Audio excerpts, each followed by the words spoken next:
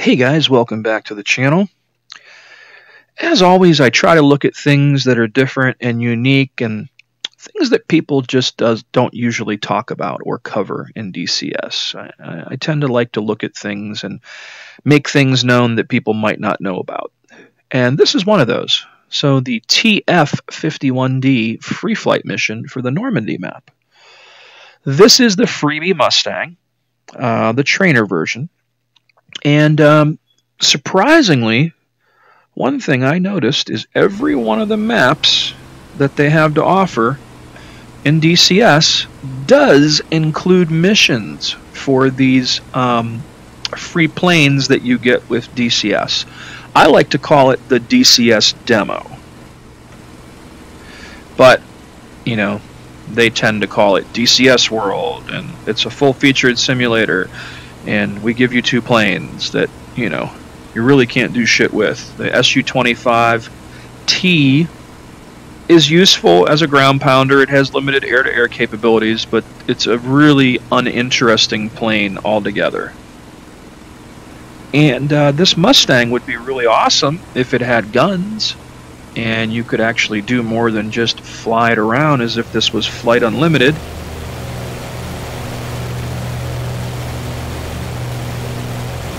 But it does look nice. It is a rather nice model. It does feel like flying a Mustang, and this is basically the trainer version of the Mustang. And um, it is cool for doing free flights in, if you're looking for a prop plane.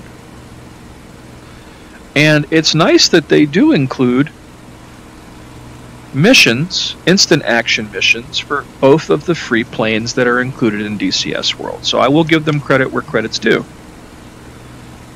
So, not that I would expect anybody to do this, but if you did just buy the Normandy map, the Persian Gulf map, or the um, Nevada map, you would actually get missions for both of the free planes under instant action for them. So I thought that was kind of cool. It's almost like that they, they make sure to include that because there are other modules you can buy that you don't get missions for Normandy. You don't get missions for um, Persian Gulf. So it's nice that they've made sure they covered these free planes, uh, giving them a little bit more value than what they have. But again, I don't see why somebody would go out and buy a map instead of a module when they have nothing but the two free planes in here just to use those two free planes with. But again, I'm not gonna I'm not judging. There are people in this world that have done stranger things. Uh, there's probably people out there who are lovers of nothing but the T50 TF51D Mustang, and this is their jam. Or the Su25T. You know, there's probably a club for you know fans of that airframe. Not my thing, but again, it's nice to see that you do get some pretty cool terrain. Oh, that's neat. Look at that kind of weird water feature.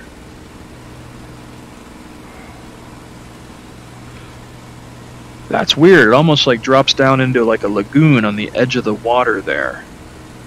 Don't quite understand that, but whatever. So, Normandy does look rather good. Oh no, I have labels on. Gotta turn that off before the label police get me.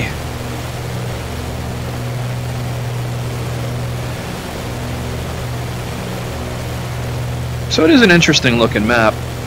And I do have the World War II assets package now because I picked that up whenever they had the sale, the uh, autumn sale, with the Spitfire kind of wish I would have bought the Mustang now instead of the Spitfire. I do love the Spitfire by, by the looks of it and its capabilities, but it is just next to impossible to taxi, take off, and land from a runway without lots of tinkering and bullshittery, is the best description for it for me. Uh, I have a feeling if I had a Mustang, I could just take off, land, and do things like you would in a normal prop plane.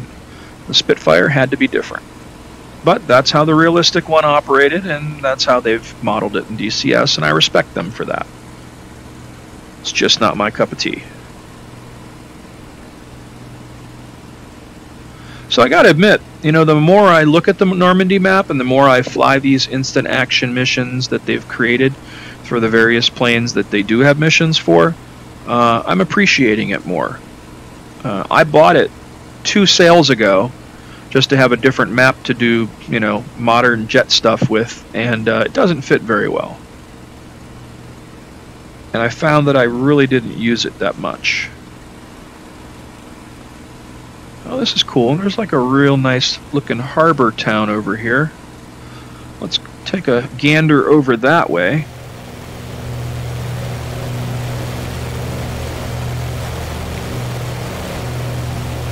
The water looks kind of weird how they've done this.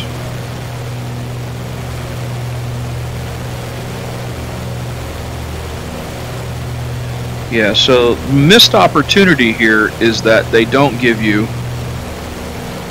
any ordnance or armaments for these things, you know. Here, have a Mustang that you can just do nothing but fly around in. Oh, you know what? This looks like that harbor that yes, this looks exactly like that harbor that the Viggen mission takes place in. I bet you this is that harbor.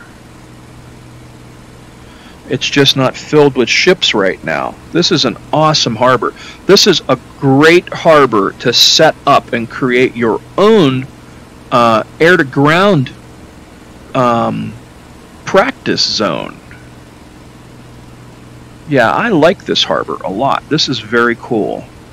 Because this is exactly where the harbor mission takes place uh, for the Viggen that I posted the video of. I recognize this. What I want to know, let me pause this, is where this is on the map. Where is this? Okay, Le Havre. It's in that tip right there. Good to know. Whoa, what happened? That was weird.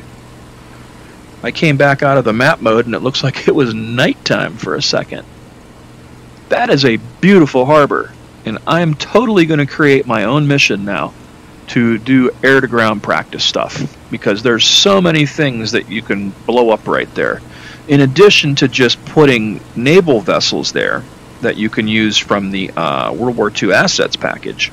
Uh, they had a submarine in the harbor, like right about there. Had a me dead ahead in the water at the entrance of the harbor.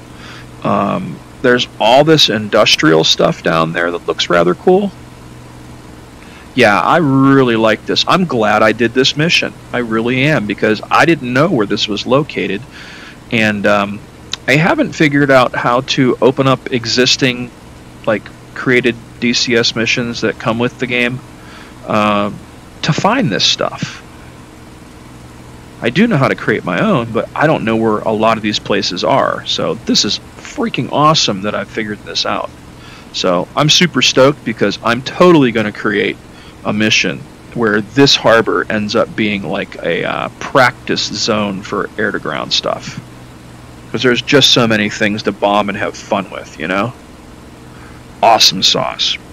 So, anyways, this is the TF51D uh, free Mustang that comes with DCS World, and this is the Free Flight Normandy map, or Free Flight Instant Action Mission for Normandy for the TF51D Mustang. So I'm going to leave it at that, guys. So as always, please subscribe to the channel, hit that like button. Thanks for watching, and until next time.